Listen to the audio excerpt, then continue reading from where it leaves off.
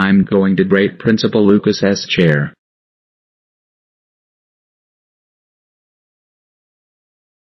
Yes, I finally broke Principal Lucas's chair.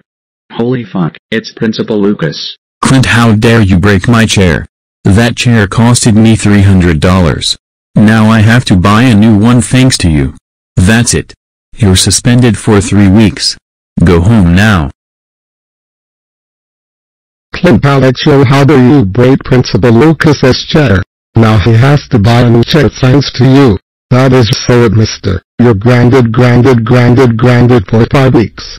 Now go to bed right now mister.